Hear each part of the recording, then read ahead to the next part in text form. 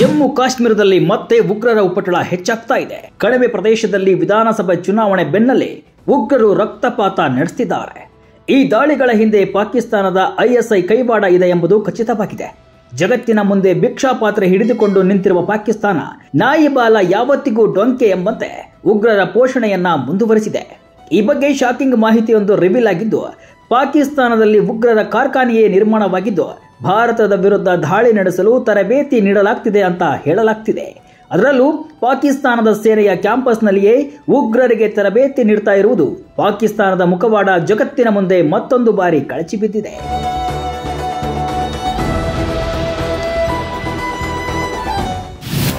ಮತ್ತೆ ಕಳಚಿ ಬಿತ್ತು ಪಾಕಿಸ್ತಾನದ ಮುಖವಾಡ.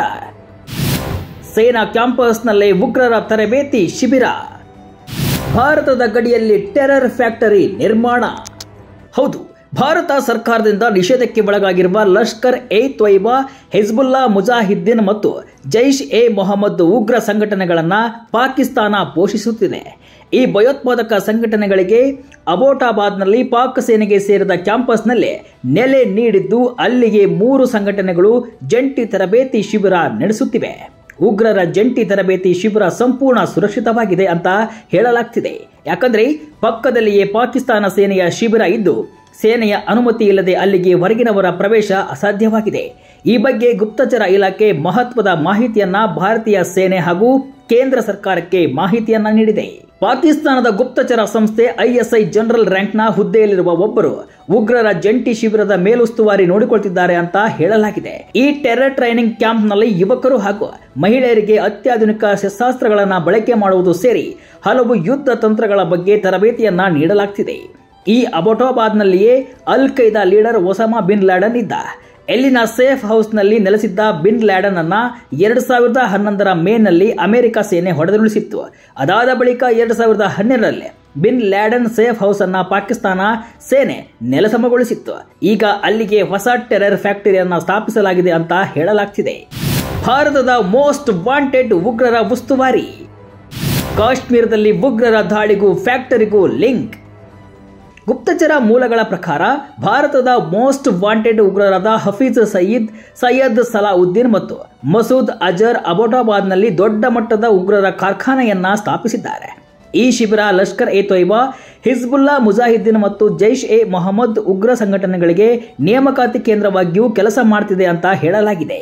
ಜಮ್ಮು ಕಾಶ್ಮೀರದ ಬಾರಾಮುಲ್ಲಾ ಜಿಲ್ಲೆಯಲ್ಲಿ ಭಾರತೀಯ ಯೋಧರು ಪ್ರಯಾಣಿಸುತ್ತಿದ್ದ ಸೇನಾ ವಾಹನದ ಮೇಲೆ ಗುರುವಾರ ರಾತ್ರಿ ನಡೆದ ದಾಳಿ ಸೇರಿ ಕಳೆದ ಕೆಲವು ದಿನಗಳಿಂದ ಜಮ್ಮು ಮತ್ತು ಕಾಶ್ಮೀರದಲ್ಲಿ ನಡೆಯುತ್ತಿರುವ ಉಗ್ರರ ದಾಳಿ ಬಳಿಕ ಪಾಕಿಸ್ತಾನದಲ್ಲಿರುವ ಹೊಸ ಭಯೋತ್ಪಾದಕ ತರಬೇತಿ ಕೇಂದ್ರದ ಮಾಹಿತಿ ರಿವೀಲ್ ಆಗಿದೆ. ಭಾರತದ ಗಡಿ ಪಕ್ಕದಲ್ಲೇ ಇದೆ ಟೆರರ್ ಫ್ಯಾಕ್ಟರಿ. ಅಲ್ಲಿಂದಲೇ ಭಾರತಕ್ಕೆ ಉಗ್ರರ ಎಕ್ಸ್ಪೋರ್ಟ್. ಅಬೋಟಾಬಾದ್ನ ಕಾಕುಲ್ ಎಂಬ ಸ್ಥಳದಲ್ಲಿ ಪಾಕಿಸ್ತಾನ ಸೇನೆಯ ತರಬೇತಿ ಕೇಂದ್ರ ಇದ್ದು, ಆ ಕ್ಯಾಂಪಸ್ನಲ್ಲಿಯೇ ಉಗ್ರ ಸಂಘಟನೆಗಳ ಹೊಸ ಟೆರರ್ ಫ್ಯಾಕ್ಟರ್ ಓಪನ್ ಆಗಿದೆ. ಇದು ಭಾರತದ ಗಡಿಗೆ ಬಹಳ ಹತ್ತಿರದಲ್ಲಿದ್ದು, ಅಲ್ಲಿಂದಲೇ ಭಾರತಕ್ಕೆ ಉಗ್ರರು ನುಸುಳುವ ಸಾಧ್ಯತೆ ಹೆಚ್ಚಿದೆ. ಭಾರತವನ್ನ ಟಾರ್ಗೆಟ್ ಮಾಡಿಯೇ ಇಲ್ಲಿ ಉಗ್ರರ ತರಬೇತಿ ಶಿಬಿರವನ್ನು ಸ್ಥಾಪಿಸಲಾಗಿದೆ ಅಂತ ಹೇಳಲಾಗಿದೆ. ಒಂದು ಕಡೆ ಪಾಕಿಸ್ತಾನ ಭಾರತದ ಜೊತೆ ಸಂಬಂಧ ಸರಿ ಮಾಡಿಕೊಳ್ಳಲು ಹಾತೊರೆಯುತ್ತಿದೆ. ಮತ್ತೊಂದು ಕಡೆ ಭಾರತಕ್ಕೆ ವಿರುದ್ಧವಾಗಿ ಭಯೋತ್ಪಾದಕರಿಗೆ ಪೋಷಣೆಯನ್ನ ನೀಡ್ತಾ ಇದೆ. ಇದು ಪಾಕಿಸ್ತಾನದ ದ್ವಂದ್ವವನ್ನು ತೋರಿಸ್ತಾ ಇದ್ದು, ಭಾರತ ಮತ್ತೆ ಪಾಕ್ ಜೊತೆ ಸ್ನೇಹ ಸಂಬಂಧವನ್ನ ಬೆಳೆಸಬೇಕಾ ಎಂಬ ಪ್ರಶ್ನೆ ಬಂದೇ ಬರುತ್ತೆ.